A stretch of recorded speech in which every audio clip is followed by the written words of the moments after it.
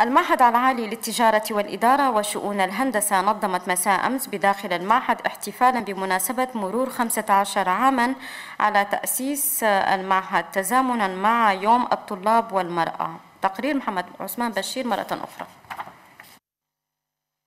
إحياء للذكرى الخمسة عشر من تأسيس المعهد العالي للتجارة وإدارة العامة لإسكام أقيمت هذه الأمسية الطلابية الثقافية بغرض تجسيد مفهوم الطالب المثالي ودور المعلم والإدارة في تكوين الكادر البشري القادر على المساهمة الفعلية في العملية التنموية بالبلاد. كلمات عدة شهدتها هذه الأمسية الثقافية تعبر جلها عن مفهوم الطالب المثالي وكذا الطرق المناسبة التي تتماشى مع سوق العمل المحلي. إلا أن المدير العام للمعهد محمد نور إبراهيم دوتم فقد سرد أبرز الإنجازات التي قامت به مؤسسته في تكوين الكادر البشري في مختلف المجالات الاجتماعية وسوق العمل.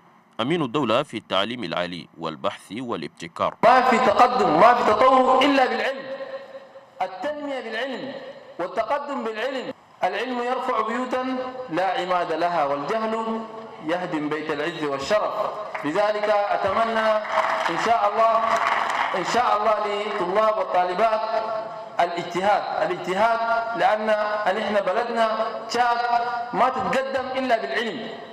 ودائما الرئيس يعني يكل يعني دائما يقول النساء لازم دائما يكون يعني يعملن في الإدارة ويعملن في البلد.